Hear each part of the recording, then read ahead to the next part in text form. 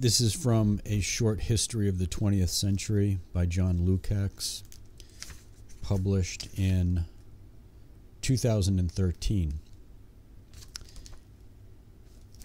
And I'm using a um, thin, cheap condenser microphone with a plus 5 decibel uh, preamplifying manual add on the uh, Peace equalizer APO configuration.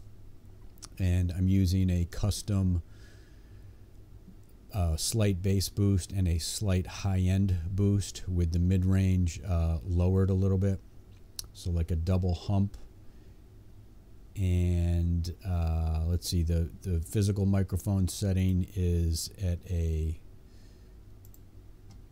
70%. Okay, this is chapter 9 The Wave of the Future. The Hitler Decade, His Domination of Europe, the Coming of the Second World War. Even before the Second World War began, Hitler came to rule much of Europe. He had thought that he could achieve even more, that he could dominate most of Europe without a war. The war then showed that his abilities as a determined and often brutal statesman were matched, well, often, by his capacities as a military leader. Blind he was not. All of his pronouncements and extreme decisions notwithstanding, he did not want a big war. This we know from his disappointment when the news came on September 3, 1939, that after all, Britain and France, France had chosen to declare war against Germany. He knew that the British and French had done this reluctantly. He knew that all through the 1930s his potential opponents, including even the great powers, had not confronted him, for all kinds of reasons, primarily because they wanted to avoid a Second World War. We must consider, too, another of his limits. Many of his opponents thought and said that he wanted to rule the world. No, he wanted to rule most of Europe and realize all the advantages that would accrue to his Germany as a matter of course. To rule Europe was enough, perhaps even more than enough. But there was yet another constraint that made him push forward, if need be, at the cost of a great war. He believed that time was against him. This was not so. In 1939, even his often impetuous friend Mussolini wrote to him that this was not so, that he need not hurry. This was perhaps Adolf Hitler's greatest mistake. The result was a Second World War, but at what cost? The 1930s were his decade, but 1934 was not his best year. How he consolidated his power and prestige and reputation within a 12 month in Germany was and remains amazing, but he convinced himself that he had to get rid of most of his potential opponents. On June 30th, 1934, his secret police minions murdered hundreds of men, some of them from within his own party, the others not, including General Kurt von Schleicher, Hitler's predecessor as chancellor, killed together with his wife. It did not matter.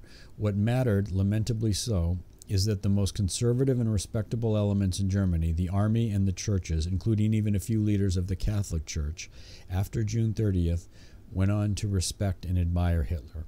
He had a small setback in 1934 in his foreign policy. This involved Austria, where the National Socialist Party and its adher- ad- adherents were growing even stronger. In July of that year, some of them rose in rebellion against the Catholic conservative regime of the Austrian Chancellor Engelbert Dollfuss. Dollfuss was not a leftist, not a liberal, not a Democrat. In February 1934, he had crushed the Austrian Socialist Democrats, a not inconsiderable party, with cannons and guns. A Nazi he was not. On July 25th, some of the Austrian Nazis rose up, broke into the chancellery, and killed Dollfuss. Yet the Austrian police and army came up, and the Nazi conspirators were defeated. Even now, it is unclear whether they, they had been not merely inspired but supported or urged on by Hitler. It seems they were not. In any event, it was a setback for him. Even Mussolini made noises and moved some of the Italian army close to the Austrian border. Hitler's setback was temporary. He was beginning to dismantle the Versailles Treaty. Hitler was to be rearmed with shiny new means and results. In 1935, the British government chose to sign a naval rearmament treaty with Germany, not at all unfavorable to the latter, but then Hitler's navy was the least important of his armed forces. In Nuremberg, he di- dictated new laws excluding Jews on a racial basis from anything like German citizenship. He wanted to expel them from Germany. Now he prepared for his most daring move, which was the cancellation of the non militarized status of the Western Rhineland. That was a strategic change of great importance. Well after the Versailles Treaty, a democratic and pro Western government of Germany agreed with the Western powers, first of all with France, that there would be no German military installations on the west bank of the Rhine across the French frontier. The French had added, or, or thought they had added, to their security by building the so called Maginot Line, an array of impressive fortresses containing heavy artillery along their frontier with Germany. On March 6, 1936, Hitler decreed and ordered the remilitarization of the Western Rhineland.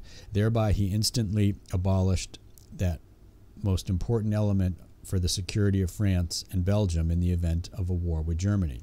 This was his biggest gamble up to that point, and he succeeded. The reactions of the French government, the one most directly affected, were feeble. They depended on the British, and the British chose not to do anything.